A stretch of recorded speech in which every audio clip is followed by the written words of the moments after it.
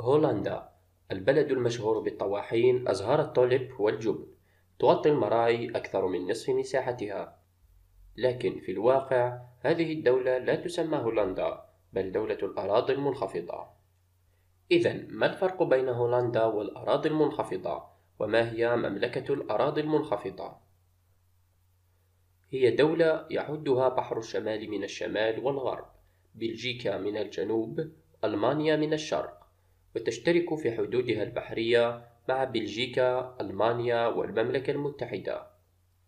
تتكون من 12 مقاطعة وهي غرونينغن فريزلاند درينتا أوفرهيسل فليفولاند هيلدرلاند أوتريخت ليمبورغ شمال برابونت زيلاند شمال هولندا وجنوب هولندا. لكل من هذه المقاطعات حكومة وصلاحيات دستورية. بالإضافة إلى ثلاث جزر صغيرة في البحر الكاريبي تابعة لها وهي بونير سانت أوستاتيوس وسابا وكعملة تستعمل هذه الجزر الدولار الأمريكي بدل اليورو. إذا هولندا هي مجرد مقاطعتين في دولة الأراضي المنخفضة. لماذا نستعمل تسمية هولندا بدل الأراضي المنخفضة؟ تاريخيا كانت مقاطعتي جنوب هولندا وشمال هولندا منطقة واحدة وكانت أكثر شهرة ونشاطا من المناطق الأخرى. وعلى ما يبدو فإن مصطلح هولندا أسهل من مصطلح الأراضي المنخفضة. حتى موقع السفر الخاص بالبلد يسمى Holland dot com. لكن الأمر لا ينتهي هنا. فدولة الأراضي المنخفضة بالإضافة إلى ثلاث دول أخرى تقع في جنوب البحر الكاريبي أروبا كوراساو وسان مارتن. تشكل مملكة واحدة تسمى مملكة الأراضي المنخفضة. في هذه الحالة تسمى هذه الدول الأربعة بالدول التأسيسية أي دولة جزء من دولة أخرى. أروبا جزيرة مساحتها 193 كيلومتر مربع عاصمتها أورنجستاد وعملتها الفلورين.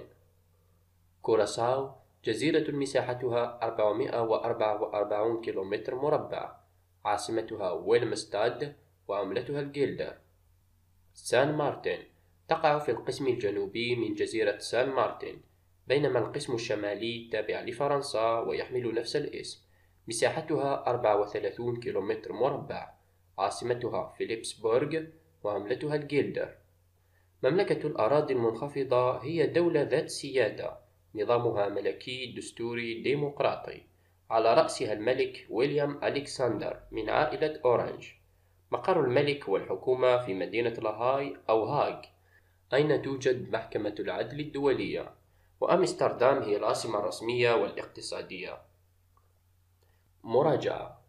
دولة الأراضي المنخفضة تتكون من 12 مقاطعة وثلاث جزر تابعة تشكل مع ثلاث دول أخرى. مملكة الأراضي المنخفضة.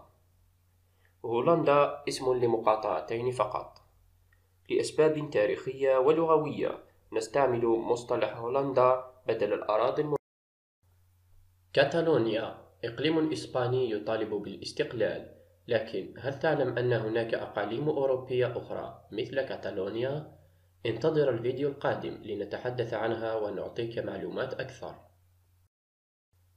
أصدقائي أدعوكم لتقترحوا علي مواضيع في الثقافة العامة أتناولها في الفيديوهات القادمة.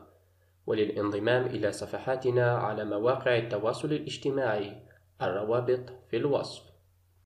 إذا أعجبك الفيديو اضغط على أعجبني واترك رأيك واقتراحك في تعليق واشترك في القناة مع تفعيل الجرس ليصلك جديدنا.